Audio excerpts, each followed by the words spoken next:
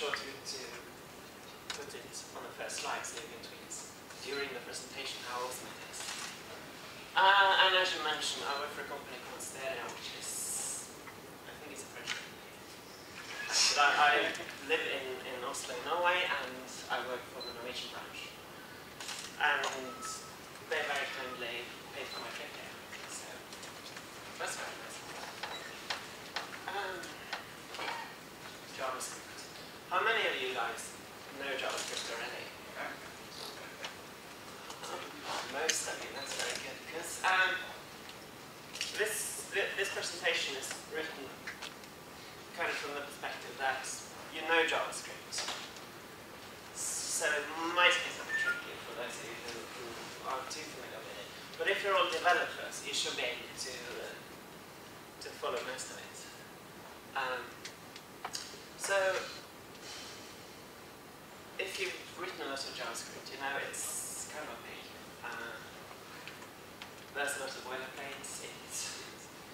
sort of strange things.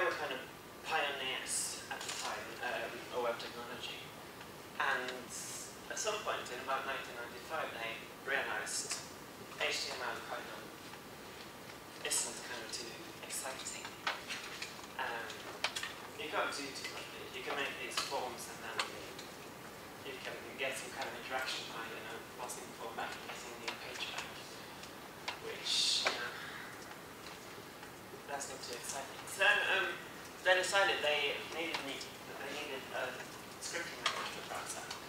And they hired this guy.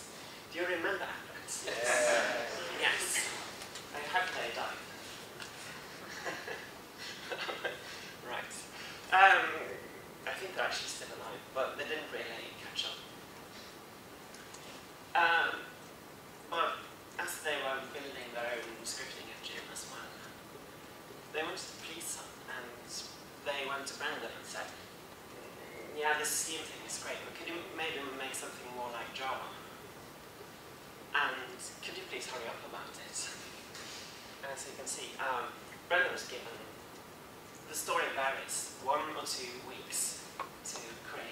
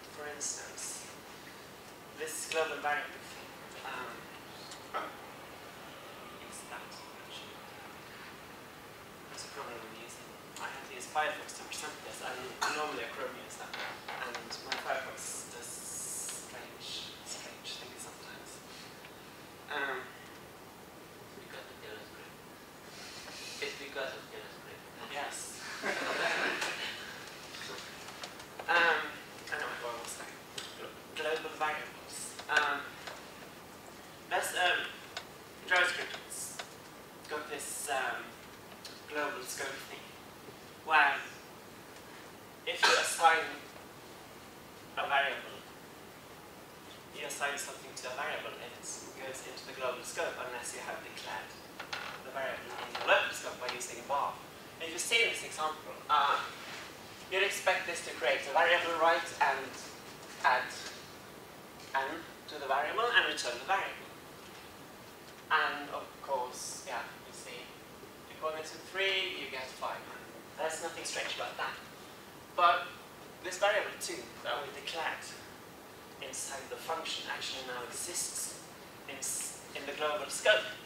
because I didn't put var in front of s, which is problematic, to say the least.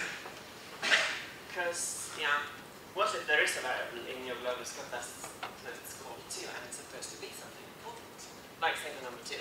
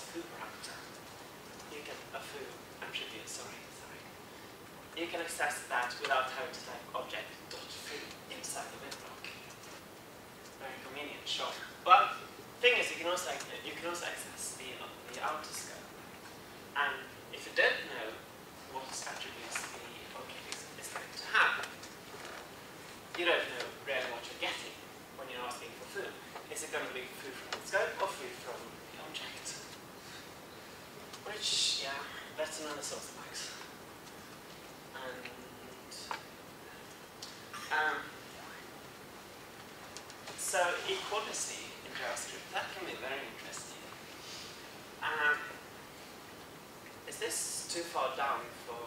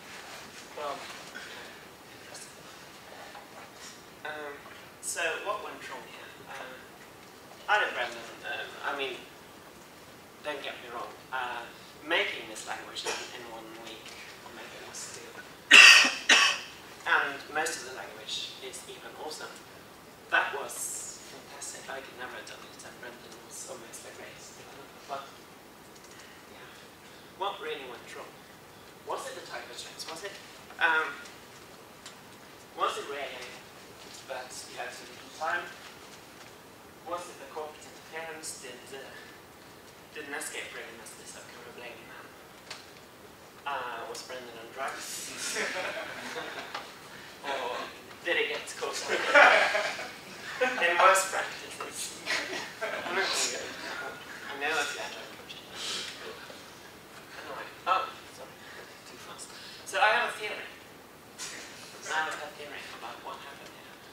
and, and to explain it, To explain this, I'm going to give you a quick history lesson.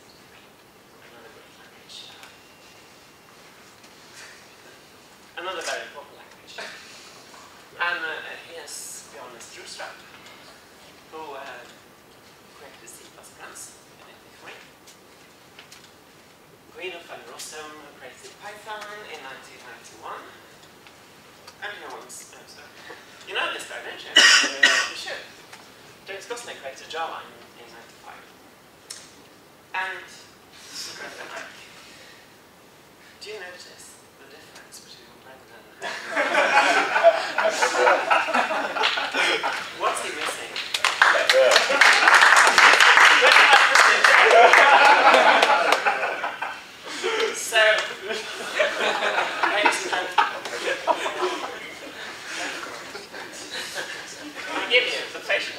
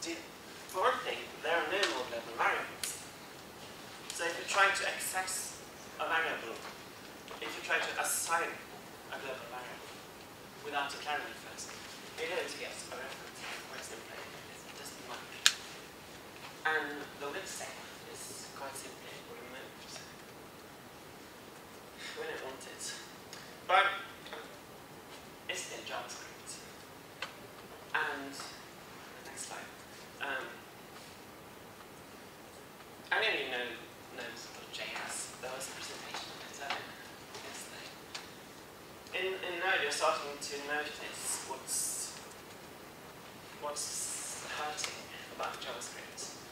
Um, oh, I should mention Node is created by this guy called Ryan Dahl. that bed is something he recently grew. Um, not because of this presentation, but perhaps. Um, yes, and um, is um, designed for writing uh, very efficient server-side using mostly um, closures and, and callbacks. So Node code looks kind of like this. This is I made this up, but it's very close to the truth. Um, to produce a web page uh, which does an SQL query and um, writes the result back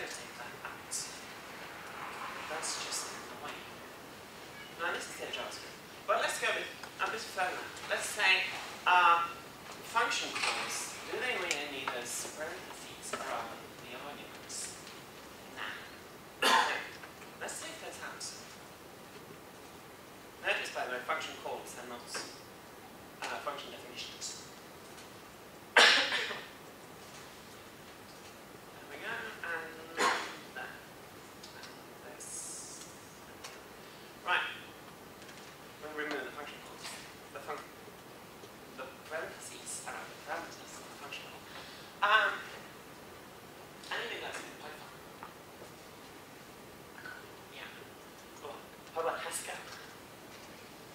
Ooh, impressive. The thing about both of, both of those languages is they have something called significant indentation, which a lot of people hate. But it turns out it's of nothing. turns out it, it's kind of useful once you get used to it. Um, the thing is, you can use indentation to represent uh, blocks instead of those curly braces. Um, let's try that. Let's see how that looks. First of all, let's get rid of this tree.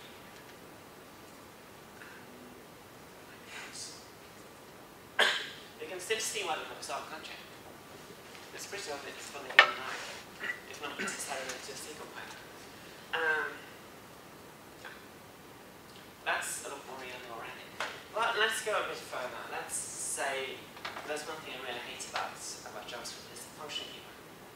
Let's drop that. Instead of um, a keyword, let's do this. Let's say a list of parameters and this nice little arrow. That's a function definition. Let's do that for each case. Yeah.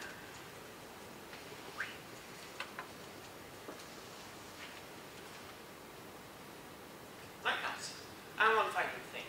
Um, if you sort of talk about Scala this, this morning, um, you notice that in Scala, something. And let's assume every statement returns something in, in our new language as well. So we can just drop the return statement here because that's implied. If you just write an expression in function body, that's what's going to be returned. And that in fact is CoffeeScript. Gratuitous lolcat. I didn't mean it so see. Right.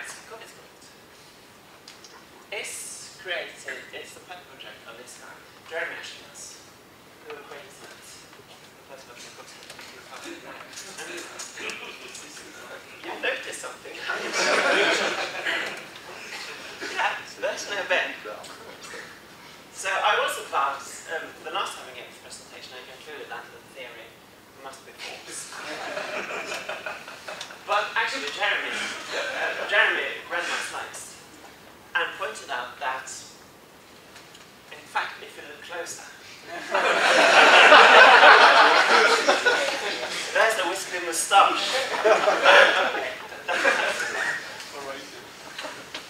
right, but the thing is JavaScript. Um, the reason for JavaScript is that JavaScript syntax is big. It's, it's more verbose than it has to be. There are going to be a few kids now, definitely. Um, furthermore, let's do one test. You remember the function keyword, that's completely useless. Um, can we get rid of this? Uh, I don't know what's happening here, that's kind of reaching the laws of physics. Um, let's get back to those kind of braces. Um, yeah, let's just, you know, start the crash course in CoffeeScript. Um, significant. I mean, I've written a long, involved explanation of this, but I think it's it's so simple uh, once, as long as you just look at the code, that you see this is a block, and the block ends. It's very obvious. So, do I need to explain that? Only you understand this. Okay, so, yeah, thanks. Um, if statement, uh, if block, else block, very obvious. Um, and the functions. feel like I explained this already. But yeah, this is a JavaScript function that adds two numbers together. And this is what, what it can look like in JavaScript. Very short and very succinct. It is that easy. Um, this is the pattern. With parameters a and b. It's just a and b waits to something. Um, if you want to declare a function without parameters, it's just the arrow. You don't need the, the empty braces. And the return is always implied. Um, whatever is, is the last expression inside the function body, that's the return value, always. And calling them. As I mentioned, parentheses, parentheses are optional and really needed. Um, you can use them if you like, and sometimes it makes things more readable because um, um, sometimes you have to delimit nested function calls. Or what I'm trying to say is that if you're having a function as a parameter to another function, and the return value of a function as a parameter, you sometimes have to put these parentheses in to make them either get it. And if you want to call a function with no arguments, you have to remember to use them. Because this is just the function, this is the function, and this is the call to the function. Because in JavaScript, um, functions are first class objects, and the function is different from the to it. Let's just try that. It's a live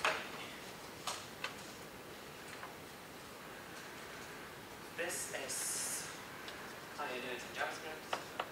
See if that's fine. And this is CoffeeScript.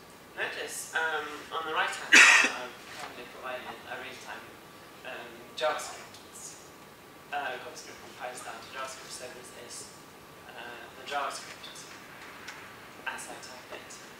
You'll notice, um, okay, I just this is a bad example because it looks exactly the same in JavaScript. But you notice, um, in JavaScript there's some two three as. If I remove the it's exactly the same. Just to, so you believe this is line, and then change this to four, and you see it's four in the JavaScript. Right, very simple. Um, you remember this JavaScript issues. In CoffeeScript, every assignment is, is loaded. If you assign something to a variable, it automatically declares it for you. The well, statement is uh, automatically gen- generated. And there's no problems. There are no problems comparing things because um, the CoffeeScript equals equals always compiled to the JavaScript script equals, which is the one that makes sense as it remember. And the where statement doesn't exist at all, just like in, in script map. Yeah. I like my cats. Um, let's look at declaring objects. In JavaScript, you might know, objects are just basically hashes. Um, hash maps in Java work the same way as JavaScript objects. So every every attribute, every property, every field, whatever you'd like to call it, on, on a JavaScript object is just a key in a hash map. And um, if you know JSON, this is going to look very familiar. We're declaring objects here called wint with two fields, user and text, and user happens to be another object and it's still inside. In CoffeeScript, we do it like this. This, um, you'll notice if you know YAML, this looks a lot like YAML. And it's very convenient and readable. You don't need the code braces obviously. Um, arrays. Arrays in JavaScript are interesting because they're really sorts of objects. Um, originally, arrays were just objects with the indexes as keys.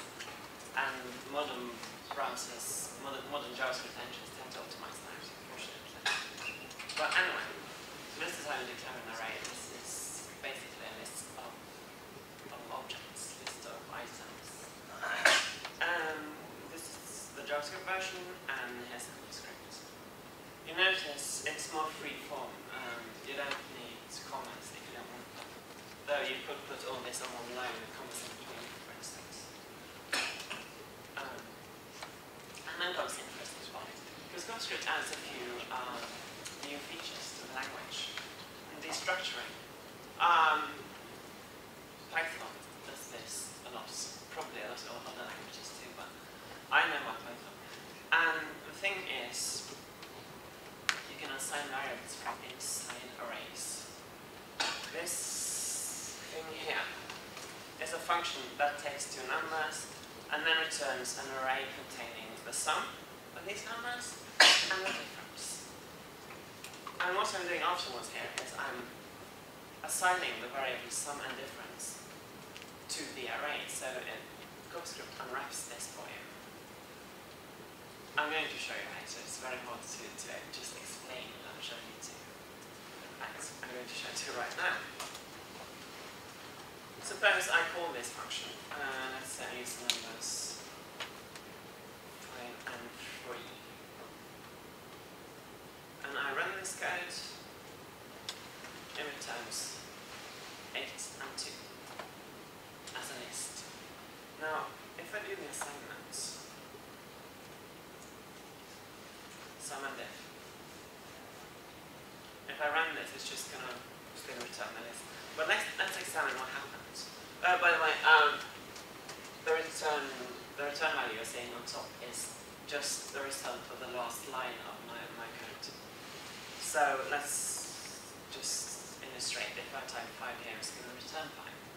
But I want to look at what sum is. Sum is eight, and diff. Sorry.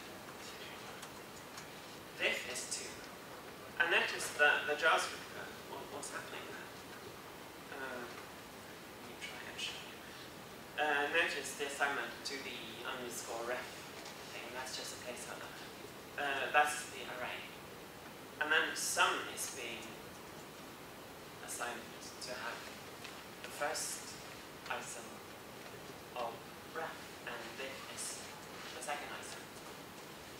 So this is a, a shorthand for, for pulling values out of arrays and assigning them to variables so you can continue working. And interestingly, this is the cool part. You can do the same with objects. Let's see if I remember the notation for this. So first I want to extract the text from this object.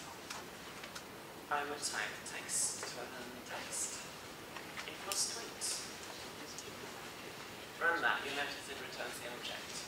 But if we examine the text variable, you notice that's the text field. And you're going to be typing this a lot. Um, you're going to be repeating yourself a lot if you use this. So CoffeeScript has a shorthand. If if the field and the variable you're assigning you're assigning to um, have the same name, you can just skip it and go text, and it still returns the field. Right. But we can go deeper than that. Sorry about the gratuitous inception reference. Let's go a bit deeper. Instead of, of just getting a field of the object, let's go a bit deeper. If I remember this, I will try to.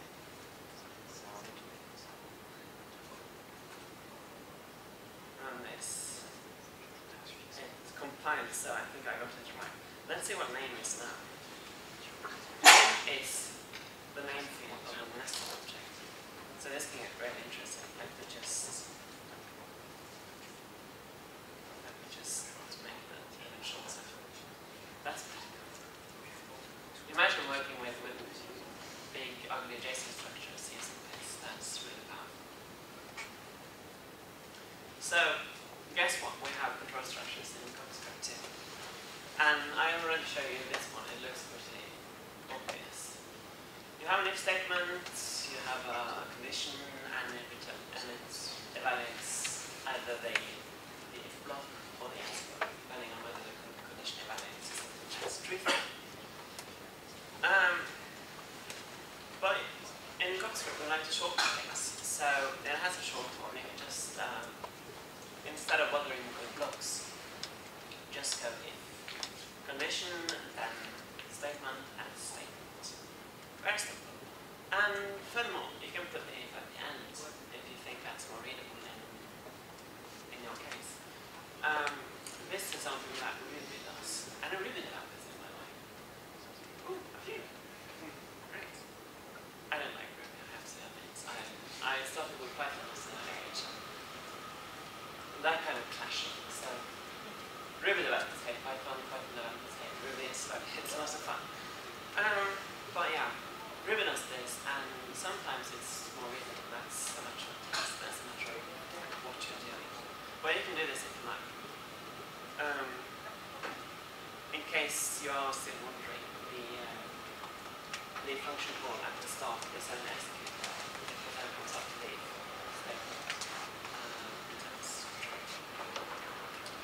And that's why no. You've seen this. Um, it just executes the block while the condition is is being true. Until uh, it's a shorthand for basically what not. It runs it runs the block until it becomes true.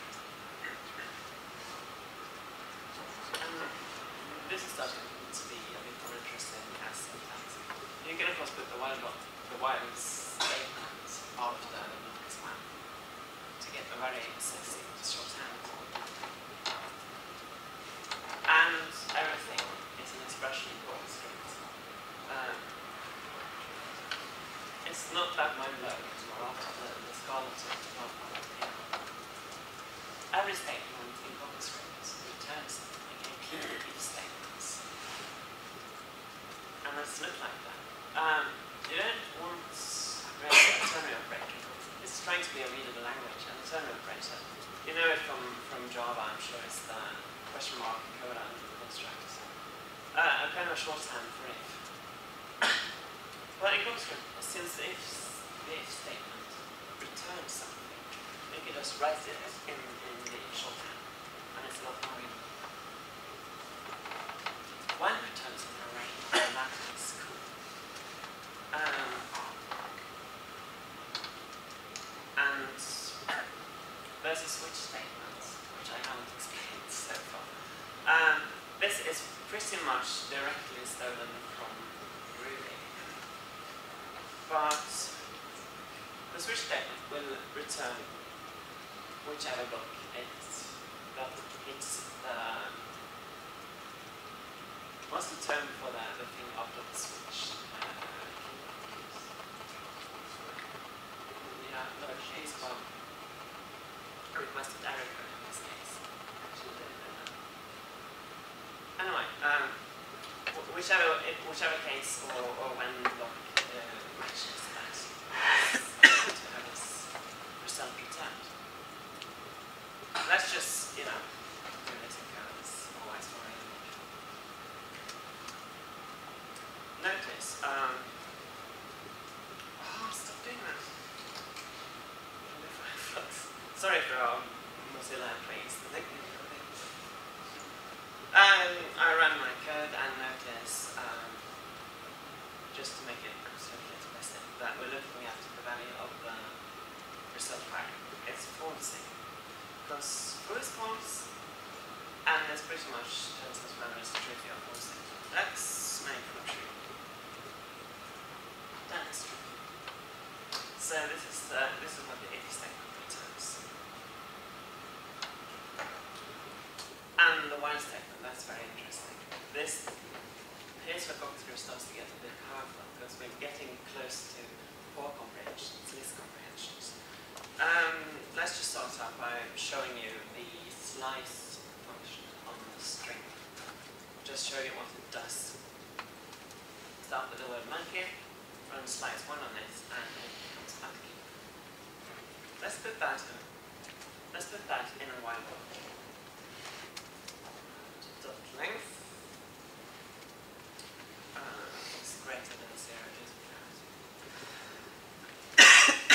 and assign the results to the variable result. And just testing that. See that? It, it collects uh, the result of each iteration and makes this, uh, a list out of it.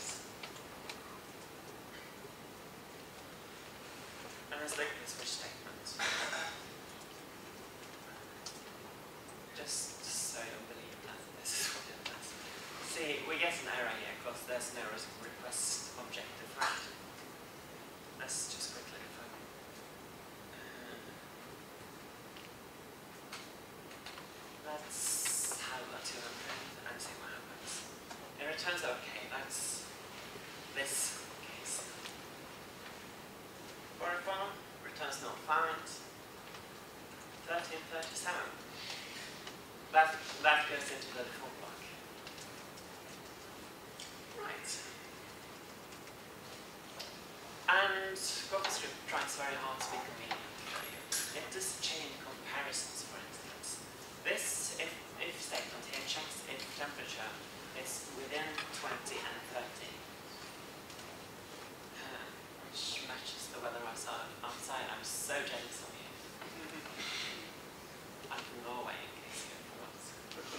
It's um, three degrees uh, Celsius in Oslo today. I'm not looking forward to going back. um, anyway, existential operator. This is sweet. Um, suppose you wanted to access the, the bar attributes of the food object, and if food doesn't exist, if you type food.bar, it's going to throw an error at you. Your code is going to break, which is inconvenient. So you can type, you can add the existential operator. That's a question mark. You see that? Uh,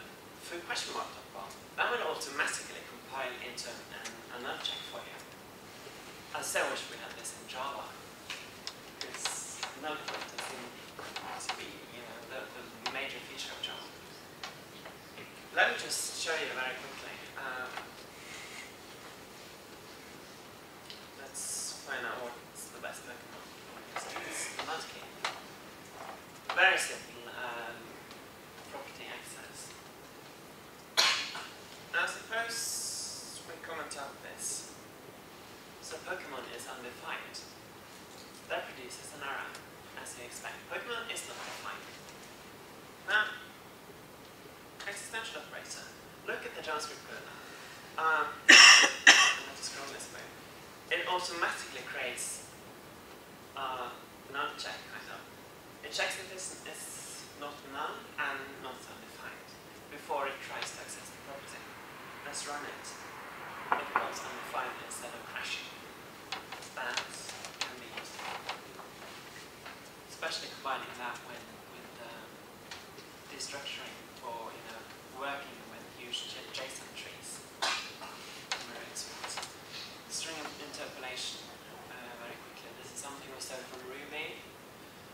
Um, though I think last time we gave a presentation and I said this was stolen from Ruby, some guy in the audience shouted, Perl! And that might be true. Probably is. Um, Perl does lots of cool stuff I just don't know about. So. Um, but the idea is um, you can kind of run code inside a string it automatically inserted by using the, the hash curly bracket notation. So I define a variable Pokemon and you just get that inside the string. Or as it's actually coded, you can even run um, functions inside it. If you know Pokemon, you know that um, when a Pokemon, or when Pokemon appears in the game, the, the Pokemon's name is always in uppercase. So fix that. Um, let's uh, do this. Let's go a bit deeper again. We have a tweet, tweet object. Let's say we want to format that for output, outputting on a web page, very simply. Something like, uh, you get the idea. Let's do that as a string, using string interpolation.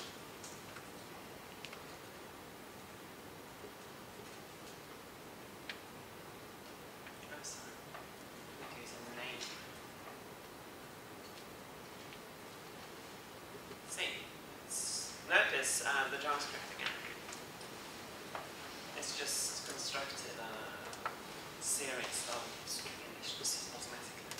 Run this and it becomes the string we wanted. And a bit more about strings before we move on to the heavy sheet. Um, you can just write really long strings if you want to, and let's say doc strings, for instance. And CoffeeScript is just going to concatenate them for you and try to do what it thinks you want it to do. In this case, um, we had three lines of text that just adds them together. The huge line break space thingy becomes just a space. Um, you can also preserve this by using um, here docs, which is once more something I thought was uh, from Python, but it's actually from Perl. Um, this pres- preserves formatting, and you can write anything in this as long as it's not a triple double point. So you can, you can put complex uh, HTML inside this with points and everything and not worry about it. Notice that um, my syntax highlighter doesn't understand this, but I blame Google because that's written by Google. Uh, but CoffeeScript really does understand this. So the, the, the word article actually part of the string. It's not a syntax error. Um, arrays. We can do slicing uh, very easily. In JavaScript, you have to use the, you remember the slice function. And it's, it's a bother. You can just do this directly by doing this, range notation instead of just accessing one index, you can get a lot of them. And uh, furthermore, suppose you wanted to, to get, say, the, um, from index 7 to just the end of the string without the end of the list, without knowing how long the list is. That's, in JavaScript, you have to read the length of the list and insert that as a parameter and it's very well CoffeeScript just does, does it like this. And this is the cool part. You can splice it back. Using the same notation, you can assign to the range you've selected, and it changes the list. I'm gonna just do this in code for you. It's, it's a lot easier to see. We have a list of numbers from 0 to 9. In fact, uh, CoffeeScript has a shorthand for that. Goes like this, it's the same list. Um, just to illustrate an example. Slicing operator um, gives us the, the numbers from 3 to 6, as expected. Or from 3 to, to the end without knowing what the end is. Or from the end to 5. Yeah, it works. Now let's assign something back. Take the numbers from 3 to 6. Let's make them the word food and the bar instead. Let's just look at numbers now. What's happened to it? Notice that. That's pretty cool. In fact, um, it produces basically the uh, slice and splice. This is totally really just trust that CoffeeScript takes of it for you. Um, for loops are interesting. Uh, the for loop in JavaScript looks like C. It hasn't changed a lot since Kernighan and Ritchie originally decided this makes sense to them, if not to us.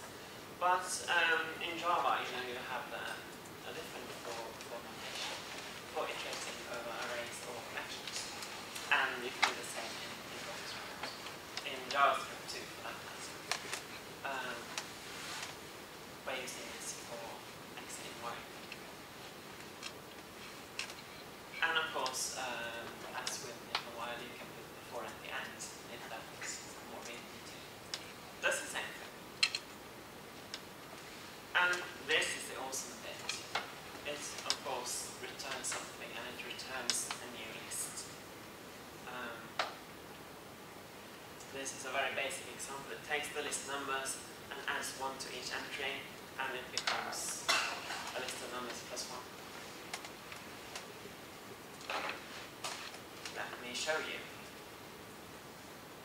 If we run just a, a for loop, it's going to, in this case, I just return the number I get.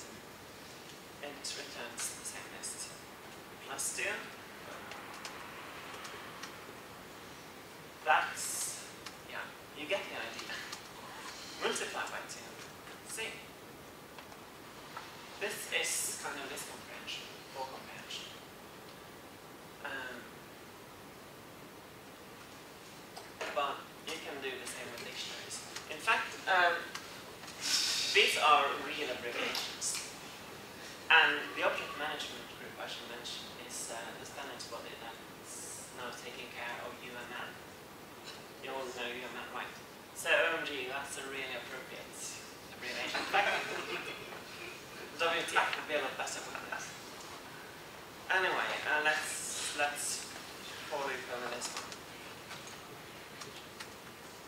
Full key of dictionary. Notice the difference. I use of instead of in because in iterates over the indexes of an array, and of iterates over the keys of an object. Let's return key just to see if that works. And of course, uh, this won't be so very useful unless you could look at the values as well. Let's iterate on key and value. Just return. It works. Or even better, key plus value. Completely unreadable, it does what you expect it to. Um, everything's better when you shout.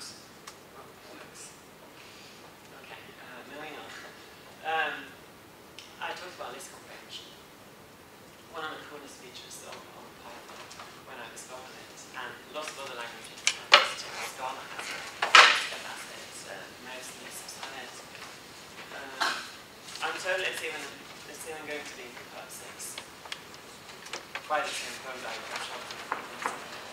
Um, basically, this is uh, this is the shorthand for expression with parentheses around it, so you can just uh, put it inside another expression.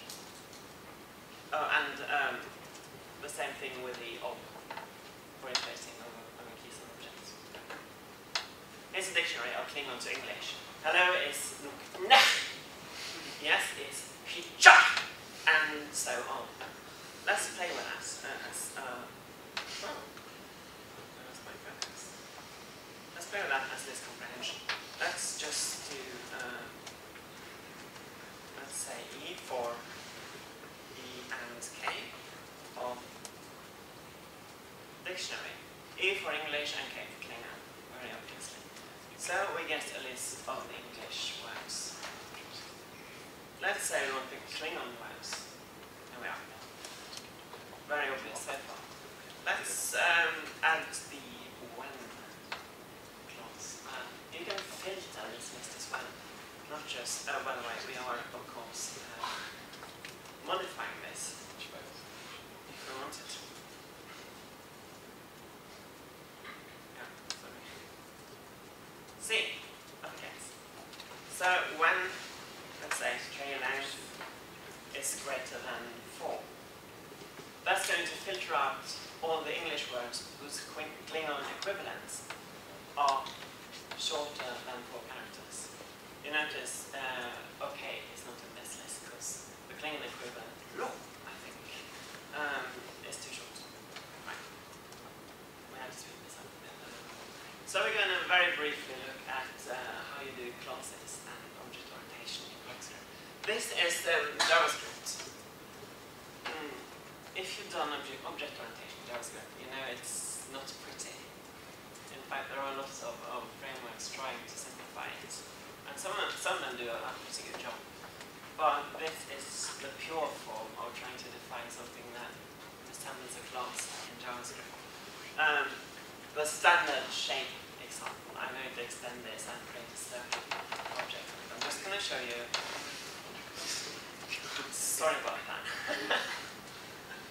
um, this this is uh, how doing object orientation in JavaScript tends to was like there's something, preferably uh, Norris.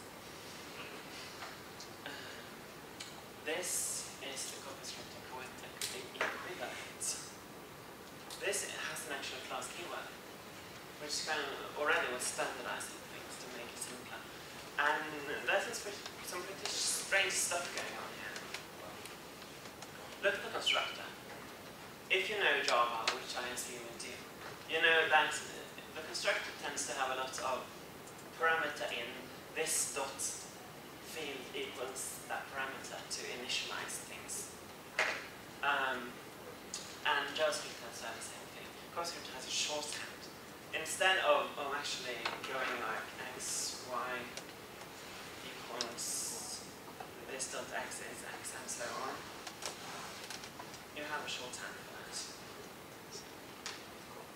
The at in CoffeeScript means this dot, as you can see um, on the other side. It's a shorthand for, for accessing this.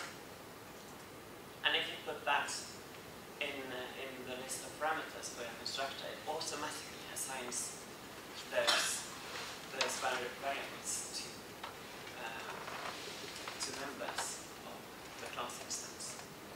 Uh, moving on, notice we assign, uh, we create a method returns a list of list of x and list of y you can see uh, the JavaScript equivalent is pretty much like Java for that matter.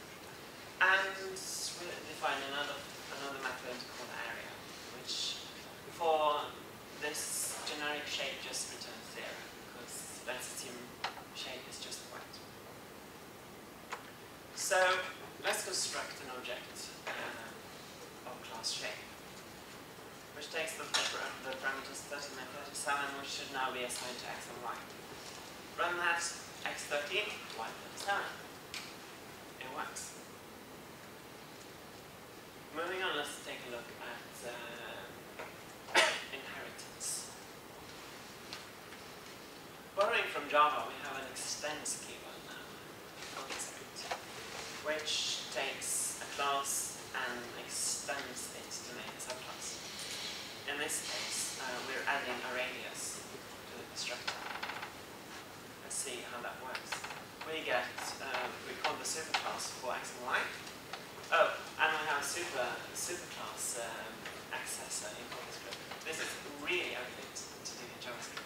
You have to, I don't even remember anymore, it's so cryptic. You have to get the process like that and make sure you, call it on the particular class you're inheriting. You have to type the class name and everything. Horrible. In JavaScript, just super. Um, yes, and notice the attitude front radius.